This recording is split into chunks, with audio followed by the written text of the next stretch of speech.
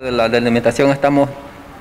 severamente perjudicados realmente, entonces nos vemos como en la necesidad ya de ir viendo qué, qué comemos, porque la verdad es que no tenemos, digamos, los granos básicos necesarios en local ni, ni en casa, pues, ¿verdad? Entonces ya andamos nosotros viendo que igual en, en comenzar a comer ya nuevamente lo que es la, madre, la flor de madre de cacao, pues, ¿verdad? El, las, comi las, comidas ancestrales, estamos volviendo a eso porque... Que según la FAO, con 95 mil personas en emergencia por la grave ausencia de acceso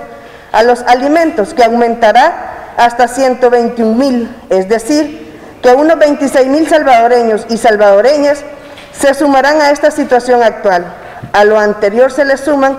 más de 590 mil salvadoreños y salvadoreñas que se encuentran en crisis alimentaria